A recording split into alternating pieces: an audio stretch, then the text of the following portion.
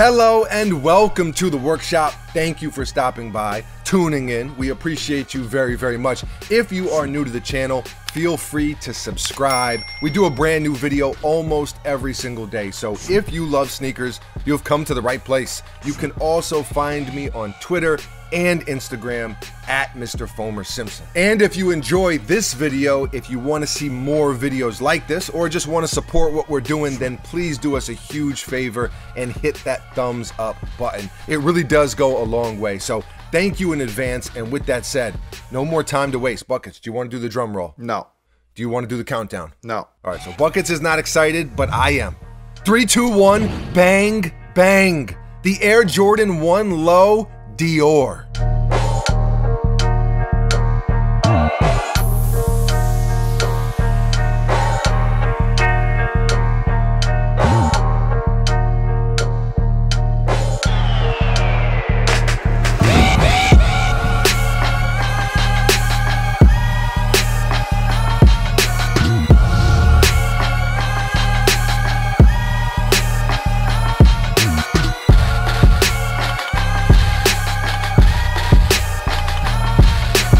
These released recently and retail was $2,000, two grand. And that's not even the resale prices. That's just what you're paying if you were lucky enough to win the raffle.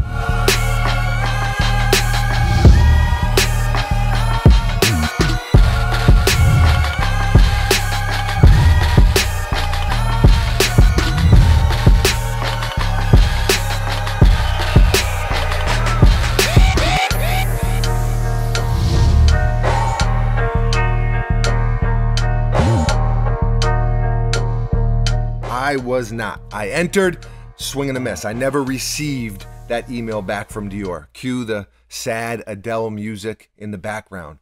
Swing and a miss. What do we call that, Buckets? A whiffaroo. A whiffaroo, the good old fashioned whiffaroo.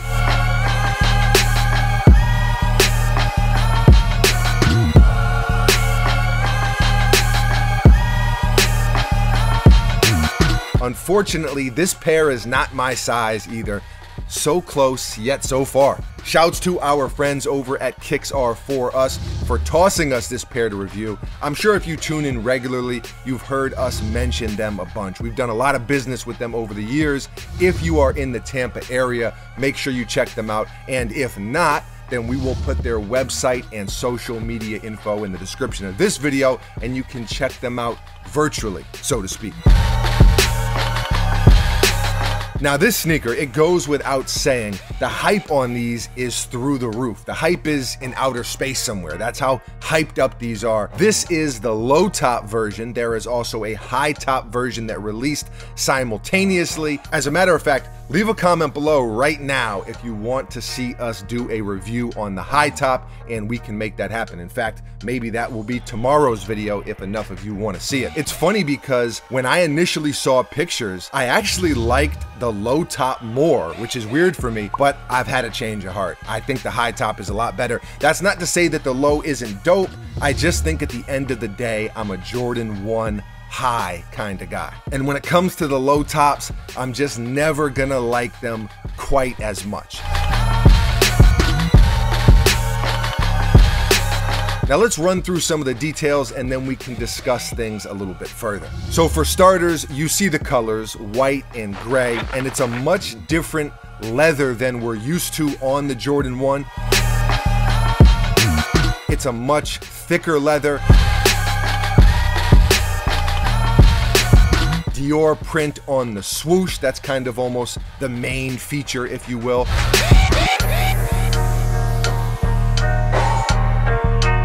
And then the edge of the swoosh is stitched all the way around. More Dior print on the tongue, but it's a bit more subtle. Dior Air on the tongue tag, and it's super silky to the touch. I love the way that feels.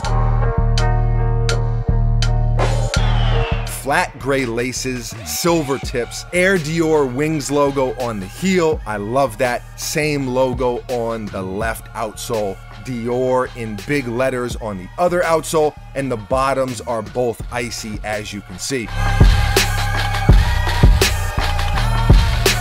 And then there are all the extras that come along with these as well. Plastic shoe trees, extra laces, metal hang tags.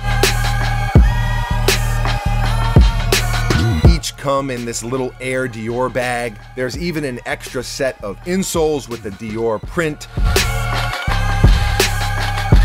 individual dust bags for each sneaker, this Dior card, and the box is very luxurious as well. I think they're dope, I do, but I feel like with sneakers like this one, these specifically, I guess, there's basically two reactions.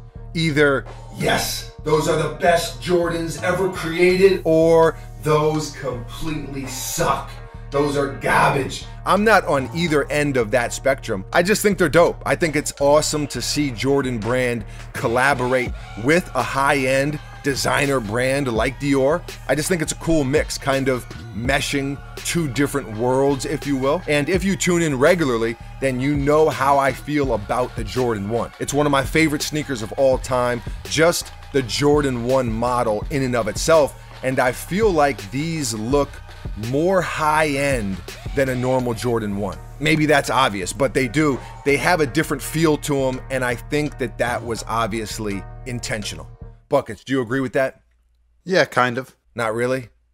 It looks like a Jordan 1 low with like a special swoosh. Not blown away by the quality. Eh, quality's okay.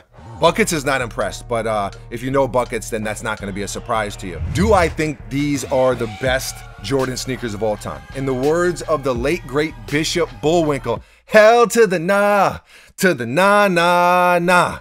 No way, I do not. They're probably not even the best Jordan sneaker this year, but they are certainly the most hyped. No question about that. And I don't think that's a surprise to any of us. Not me, not Buckets, who was behind the camera, and not you. We all saw it coming from a mile away.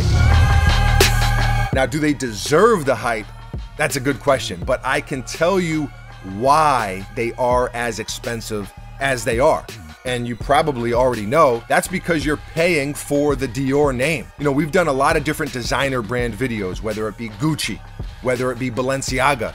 You're paying for that name. And I'm not knocking anyone who does. I own some designer stuff myself, and you're paying for the exclusivity that kind of comes with that. These are also limited to 8,500 pairs, and every pair is numbered. So, just that whole thing, everything that they created with this collaboration, it's gonna result in crazy hype, and crazy hype results in crazy money to spend. That doesn't mean that it isn't a dope sneaker. It just means that Dior and Jordan are able to charge a lot more for them. This is actually a sneaker that I would love to wear. And again, if you watch our videos, if you tune in, then you know we really wear our sneakers down here at the workshop. We wear them and wear them hard.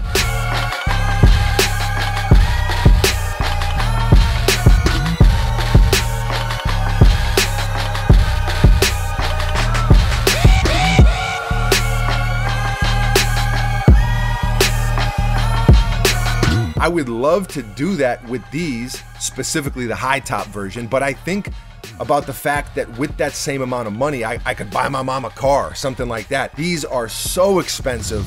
For me personally, I don't think I would be comfortable really wearing them and beating them up. I'm not sure exactly what my price limit is. I just know that these are probably way beyond that. Buckets, do you agree with that? Yeah.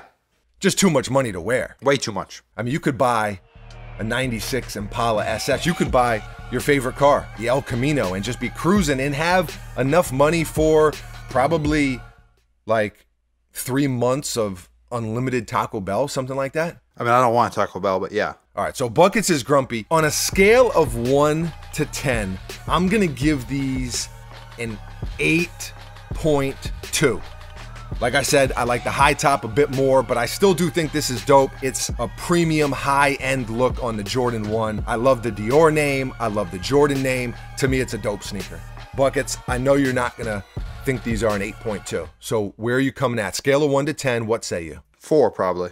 Wow, 4 out of 10. Buckets is not impressed. The anti hype beast, a 4 out of 10.